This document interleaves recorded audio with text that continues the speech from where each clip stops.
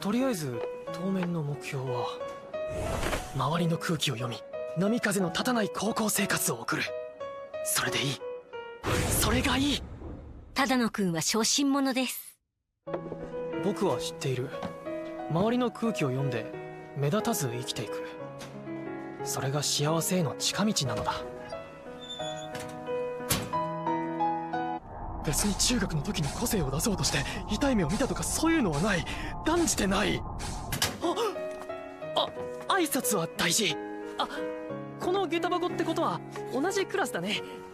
おはよう。う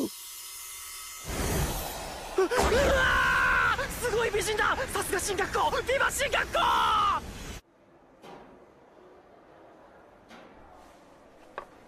お。え？えー、えー、なんか悪いことしたかな？僕なんか悪いことしたかな？あ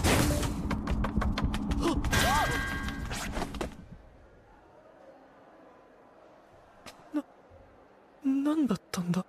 今の。古見さん